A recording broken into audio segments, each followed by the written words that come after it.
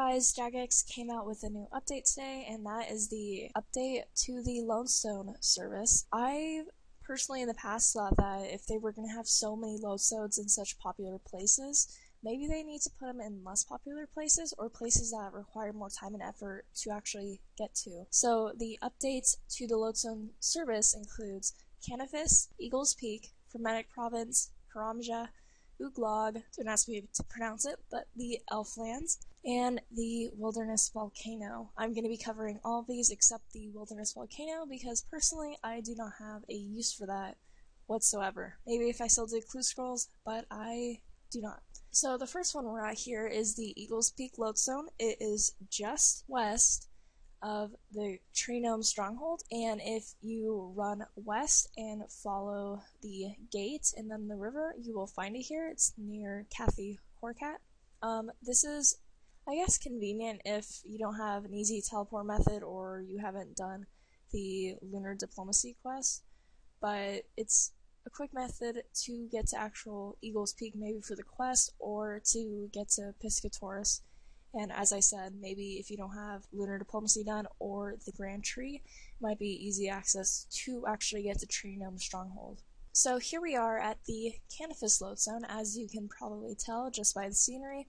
It places you right next to the god statue, which is convenient, and if you are a lower level and you need a Slayer task, it puts you right at the Slayer Master right here. So it's really convenient because you also don't have to, you know, have a portal in your house and run to that to get to the bar, but you can actually just teleport right here now and you won't have to worry about teleporting either to the bar or to the Slayer Tower or to the Ectophial if you would like to get somewhere in the middle, such as this, really quickly. So, unless you are familiar with how the landscapes look in most of the regions, you can probably maybe tell that this is Rellekka, but we're to the far east, so they're actually not defeating the purpose of having a Lyre or just having the house teleport to Rellekka if you've completed a Love Story. It's kind of how it is with Varrock, how it teleports you to the southern end instead of possibly the Grand Exchange. So that's good in a way that they're not destroying teleports. But however, maybe if you're lower leveled, and I remember I would have to run from Camelot every single time that I wanted to come to Rellekka. So it's a little bit closer, but still kind of far away for those that would like to run a little bit. Here we are at the Karamja teleport, and as you can see, it's a little tiny bit south of the house teleport, which is right up here. So again, it's kind of killing this teleport actually, because if you complete Love Story, then you can easily teleport here, or if your house is simply in Karamja or Brimhaven, whichever you prefer to call it.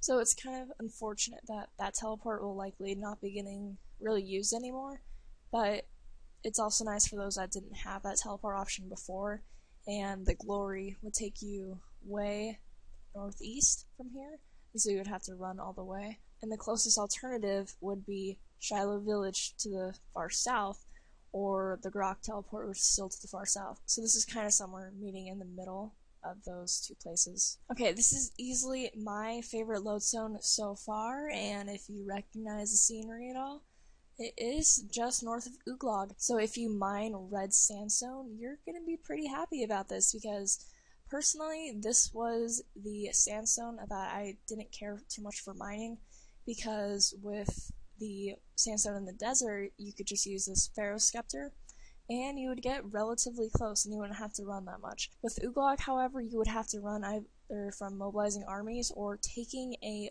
boat to the shipping docks to the far east, but then you would still have to run all the way up here. So if you mine red sandstone, then you're probably gonna like this teleport maybe as much as I do. This is one of the ones that I think was definitely needed because, as I said, there weren't really too many teleports that took you right here, so it's a nice little bonus for those of us that would like to do flasks, or if you are doing a quest per se, then it might help you out a little bit too, so you're not running around as much. This is another spot that I'm really excited about because if you've ever forgotten your elf crystal, you might have had to run through the underground pass or just come from the trek, which is way far north of here, and it's kind of annoying to get down here. It can take several minutes at the very minimum. And so the Lodestone is actually just west of the village. If we run over here, we actually can spot the adamant ore mine, which is convenient if you have a daily challenge, which is kind of hard to complete in the mining guild alone. And there's just a couple of traps over here, but you'll start recognizing it as we get closer. Here's the tripwire.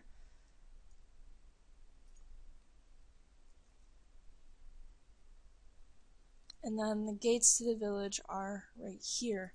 Alright, so except for the wilderness volcano, I've covered all of the areas. However, if you look on here, we can actually distinguish pretty well which icons are the new ones.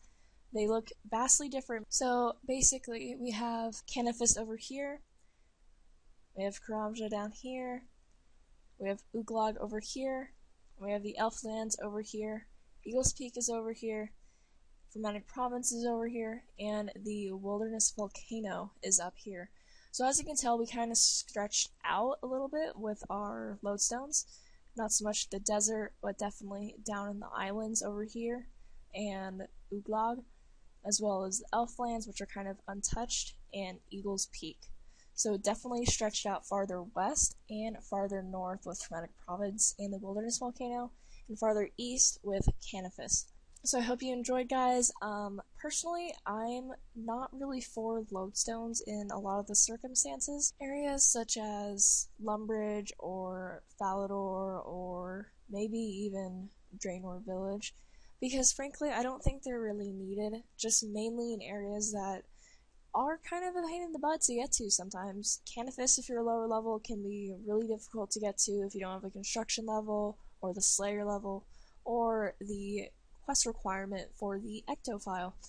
And Oo'glog can be quite a run. Then Karamja is nice because, as I said, it was kind of isolated down there, and if you don't have the house teleport tabs or maybe a glory or Karamja gloves, it can be kind of difficult for you. And of course, if you haven't killed any elves to get the crystals, it might be harder to get the elf lands and Eagles Peak is also just kind of out there. And then Fremennik Province, as I said, while it is a lot quicker than going to Seers Village and running north, it is still kind of out there, which I appreciate them doing. And the Wilderness Volcano, I I'm kind of against this because the wilderness is an area where there really aren't many teleports to, and I think people kind of liked it that way. Of course, you have the teleport obelisks that change, where you teleport. I kind of liked how it was kind of desolate and not an area that was easily accessible, so this might change PKing if people even still PK in the evolution of combat, but I think it's something that kind of maybe should have been left alone. So there's been a lot of updates, mainly to teleports today. Um, it's gonna take some getting used to. As always guys, thank you for watching, and I will see you in the next video.